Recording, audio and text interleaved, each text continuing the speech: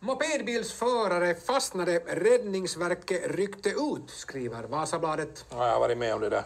Vad, har du kört i diken med en mopedbil? Nej, men jag, jag fastnade i en mopedbil. Jag, jag satte mig där, så kom inte ut och så fick Räddningsverket rycka ut.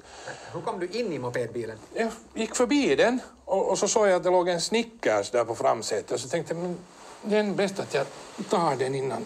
Och så på något sätt så var jag liksom, jag kom inte sen ut.